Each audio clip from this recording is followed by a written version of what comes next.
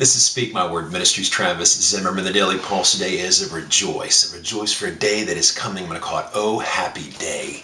And we're reading here in the last chapter of Romans, and it's so theologically deep and so theologically thick and rich in, in, in, in God's ways. And wow, there have been, one of my friends had a pastor who spoke two years on the book of Romans in the 16th chapter. One of the very last sentences, one of the last verses rather, in Romans is this Romans 16, verse 20. And this is just beautiful. The God of peace will soon crush Satan under your feet. The grace of our Lord Jesus be with you. What a happy day. Romans chapter 16, verse 20. The, the God of peace will soon crush, not maybe, not might, or he's going to try. No, it's already happened. It's going to happen.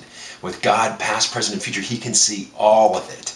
And he's saying here, you know, to, to those of us who are struggling and, and, and saying, God, when are you coming back? When, when are you going to save me from this, this, this pain and this torture and this anguish and this suffering and this lament? No matter. It is just a, just a small amount we've got to go through to get to glory because God, the God of peace, will soon crush Satan under his feet. And the grace of the Lord Jesus will be with us in the interim between where we are now and when that crushing happens. Count on Jesus forever in your name, Father. Amen.